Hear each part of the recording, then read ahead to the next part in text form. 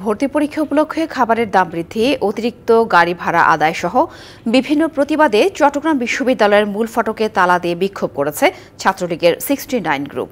বুধবার রাত নয়টা থেকে দশটা পর্যন্ত এই বিক্ষোভ করেন নেতাকর্মীরা। এ সময় তারা অভিযোগ করে বলেন, ভর্তি পরীক্ষার উপলক্ষে গাড়ি ভাড়া ও খাবারের দাম নির্ধারিত করে দিলেও তা মানছে না হোটেল মালিক ও গাড়ি চালকরা।